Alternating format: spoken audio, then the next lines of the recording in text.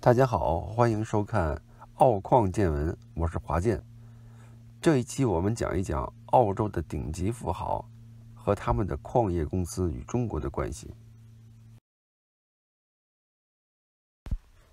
在澳大利亚刚刚出炉的富豪排名榜之中，排名第一的是我们看到的中间靠左的这位女富翁，她叫 Gina。排名第三的是在照片中和我们的总理握手的这个人，他叫 Andrew Forrest，他的澳洲排名第三。排名第八的是叫 Civic Palmer，就是黄色背景的这个人。这三个人都是和和中国有关系，呃，和中国呃向中国大量出口煤铁的公司。呃，右下角呢是。力拓公司，力拓公司这个公司也是和中国有着很多的业务交集、贸易和向中国出口铝、镁、煤、铁。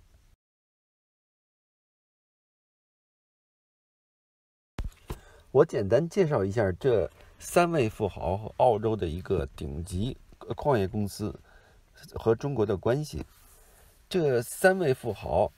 呃，都向中国呃出口煤铁，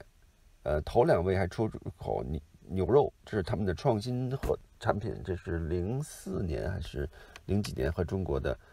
一个创新。呃，这位女富豪是向中国引进了第一批活牛，然后呢，呃，这个第二位的富豪，他是向中国出口了就是牛肉，嗯。在与中国的合作过程中呢，呃，第一富豪呢合合作算是顺利。第二位这个这个富豪呢，他叫 Andrew Forrest，他和中国的合作是非常顺利的，因为他所他和中国在零六零七年的时候，他本身还是个小公司，十几年下来之后，他的的个人成就已经达到了澳洲的第三个首富，公司运转的也是非常的好。他个人形象的塑造非常成功，他这在中国有疫情的时候，他向中国捐赠了很多物资；他在澳洲疫情严重的时候，他又从中国买回来了这九十多吨的医用医疗物资。所以说，在两这两个国家出现疫情的情况下，他都非常做的是非常到位，起到了一个企业家的作用，和也是调节了国家之间的关系。他不仅是在有矿业，他还在中国生产自己的专门运输矿粉的船只，造船厂也是很大的。嗯，他和中国在这儿的矿业、港口、码头运输的合作都是非常成功的。嗯，第三位呢，他叫 Civic 泡尔默，泡尔默和中国中信合合作的时候，由于开发的时候对环境的呃。对环境的影响导致了他们的合作项目是就暂停，现在打的官司也打得非常大。Rio Tinto 呢也也出了一个力拓案，但是基本上基于是个人的案，他们员工在中国的个人案件并没有影响到这个公司和中国这个呃的矿业的呃关系。他们的公司合作还是从从一个外人来给他讲，从一个普通人讲，从观察的社会上的关系来讲。瑞欧金多和中国的合作还是在继续，所以说这四这三个人和这一个公司里面，第二位这个人的公司非常好。现在这个话，我们这个话题呢，就是说我们讲一讲，都在疫情情况下都会有呃矿业呃利润损失的情况下，哪一些人可能会和中国的矿业继续好好好的合作，并得到。中国的配额甚至是更大的利润。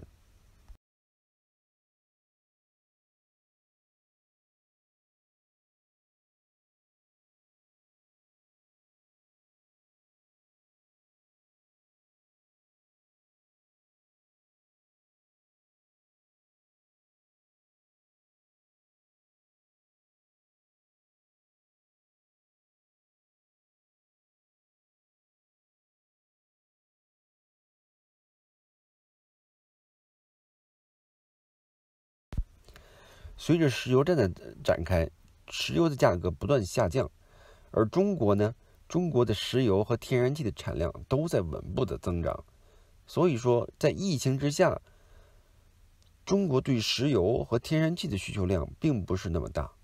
唯一有可能的，中国向澳大利亚购买的那只有是一个煤炭。那我们来分析一下，在这疫情之下，复工、运输、其他条件综合考虑之下，有没有可能中国继续向澳大利亚购买煤、铁这些基本原原材料？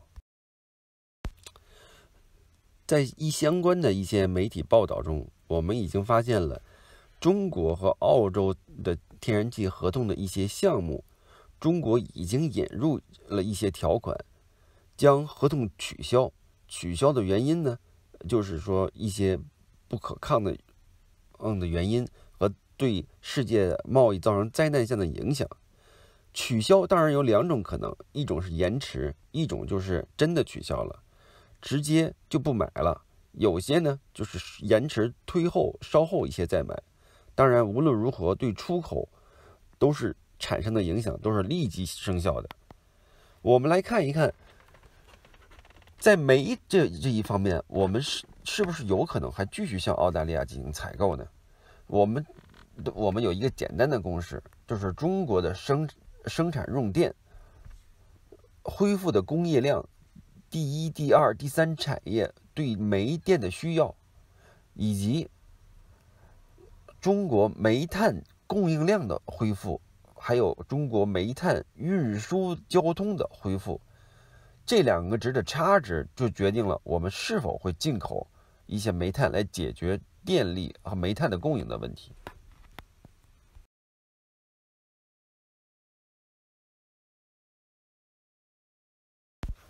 我们的东南沿海城市正在积极的进行复工，而复工所需要的能源大部分是来自于火力发电。据二零一八年。的统计结果，中国的火力发电占总电量的百分之七十三点三二，核电占百分之四点三，其余为水力、风力、太阳能总发电的一些总和。从发电结构来看，中国火力发电量达到了四万九千七百九十四点七亿千瓦时，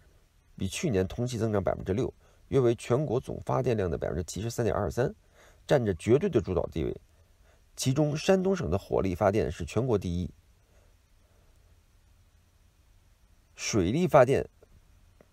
排名第二，全国为一万一千零二十七点五亿千瓦时，约为同期全国总发电量的百分之十六点二十四。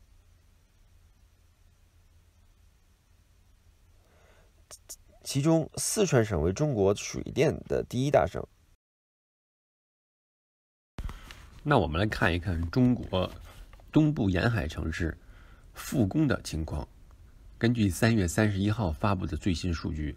江苏省全省调度日用电量最高用电负荷超过去年同期水平，反映出江苏生活已经达到了去年的用电量水平。随着复工复产的推进，江苏全省用电量将去年同期增长六点六四个百分比，而第一、第三产业用电量分别同期增长了七点九和百分之三。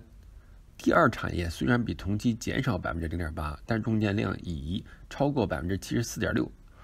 是拉动全省用电量增长的主力。根据。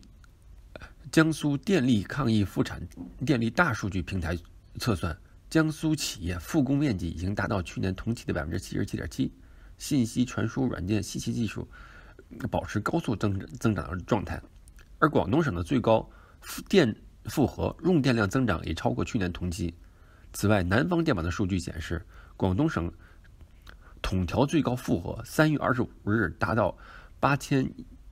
一百九十一万。千瓦比去年同期增长百分之零点三八，其中广东、深圳、东莞统调最高负荷均超过一千万千瓦。同时，全省全社会总用能量十五点三亿千瓦时，比去年同期增长百分之一点五，而而最高负荷以及用电量均超过去年同期水平。如果还存在啊中国向澳大利亚购买煤矿的机会，我会看好 Andrew Forest 这家公司的，因为他在中国疫情的时候，在二月份的时候，向武汉青山慈善总会捐赠了一百万澳元，用于支持位于冠状病毒爆发中心的医疗工作。这笔这笔资金把 Andrew Forest 集团的长期客户武汉钢铁有限公司拥有的武钢体育中心改造了一个拥有三百八十八个床位的方舱医院，以治疗感染了病毒的呃病人。Forest 公司呢，在这个时候向中国提供了强有力支持，因为他们正与国际社会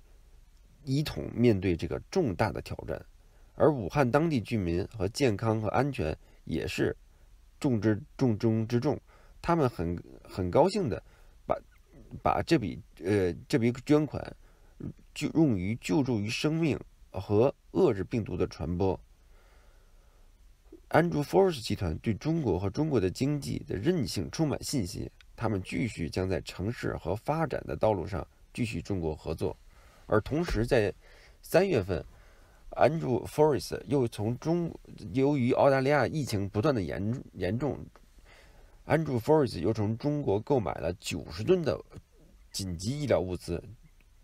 以低以低成本的价格卖给了澳洲政府。所以说，他在这次疫情中的表现是非常满意的。Andrew Forest 拥有的 FMG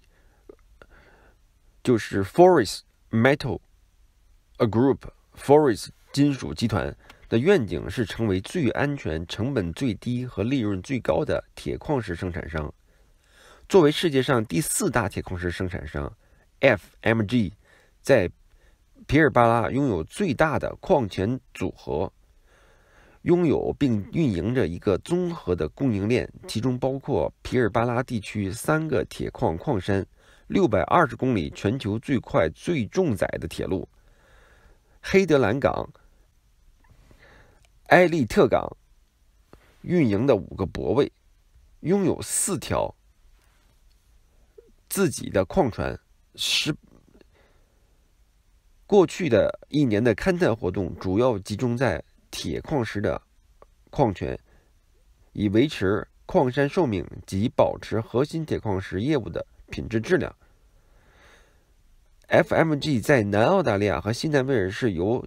潜力的铜、金矿矿权进行早期成本的勘测，并对鄂尔多多尼潜力就较大的早期勘探矿权拥有评估权。矿业亿万富翁安德鲁· Forest 将出资1.6亿元购买医疗用品。以帮助澳大利亚抵抗冠状病毒，同时他还对澳大利亚的社区、体育各个行业方面树立了自己的公司和自己的良好的形象。For Forest 公司呃先生表示，他如如果发现保护设防护设备或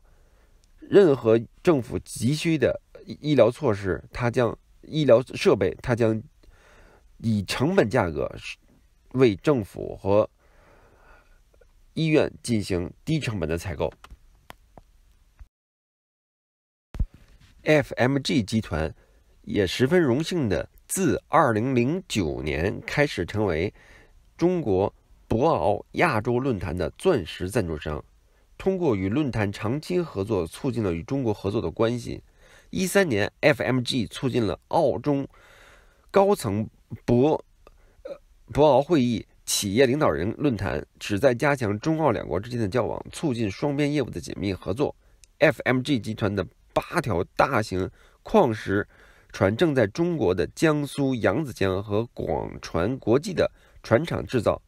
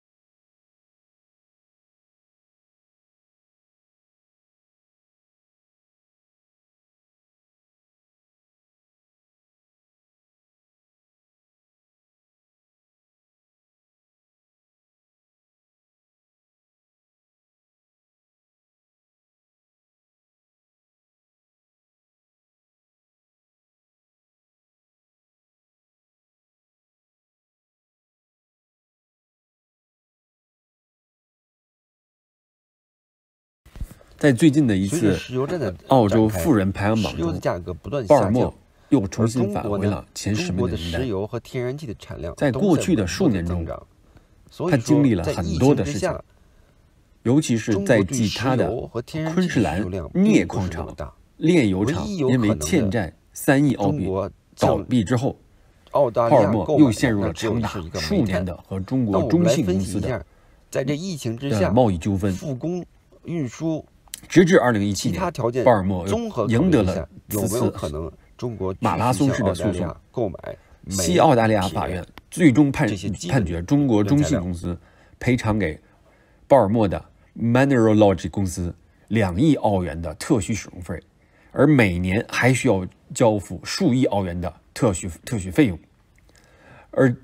这期间，他又经历了三四年的政治政呃政界生涯，他成立了自己的政党，